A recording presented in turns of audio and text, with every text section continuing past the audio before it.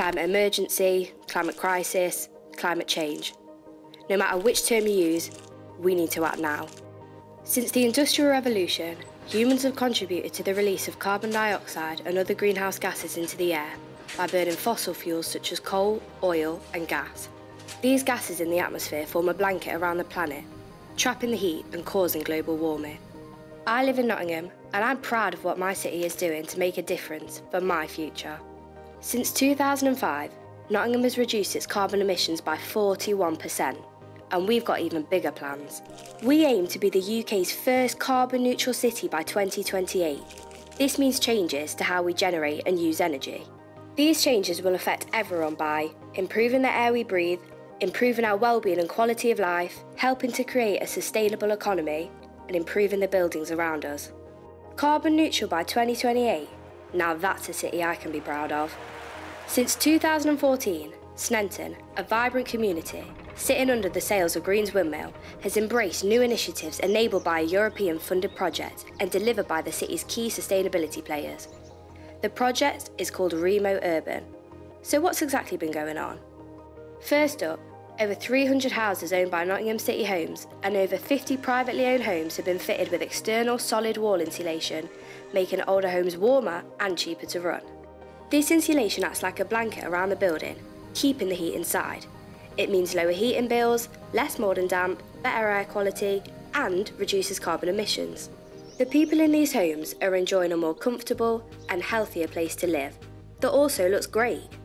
It's not only Sneinton on this journey, the cities of Valladolid in Spain, Tepe in Turkey, Seraing in Belgium, and Miskolc in Hungary have been working hard on the best ways to make them smarter and more sustainable. I'm proud to say Nottingham is a lighthouse city, leading the way for other places to follow. As well as updating older homes, Nottingham has been the first UK city to adopt the whole house off-site retrofitting approach called Energiesprong. It's been such a success that the Energiesprong model is now being rolled out to over 100 homes across the city. The project has given citizens access to visual data on their energy use, helping them to make informed decisions. Using renewable technology and storage through the Energy Centre, residents will save money and reduce carbon emissions. Throughout this whole project, the community have been involved from the beginning, giving input on how they want their homes to work, as well as the look and feel, to create a more attractive environment. Nottingham City has the largest district heating network in the UK. We burn waste to generate heat and energy. REMOURBAN piloted the use of the return flow, meaning cheaper low carbon heating for the community. How clever is that?